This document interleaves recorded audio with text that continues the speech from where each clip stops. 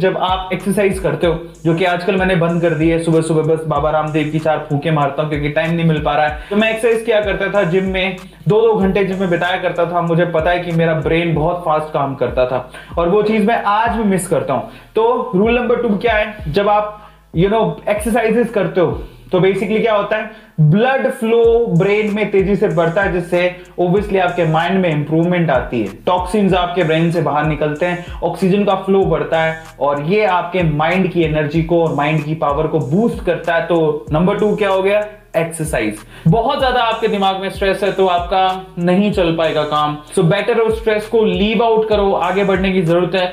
Long term पे याद रखना stress can damage your memory as well अगर आप ज़्यादा स्ट्रेस रखते हो तो आपका दिमाग भी फट सकता है. सो बी फट सकता है का मतलब आपकी मेमोरी को वो डैमेज कर सकता है. ठीक है? So be careful about that that's very important heart attack वगैरह भी आ सकता है. तो बेटर है कि आप स्ट्रेस से दूर रहो.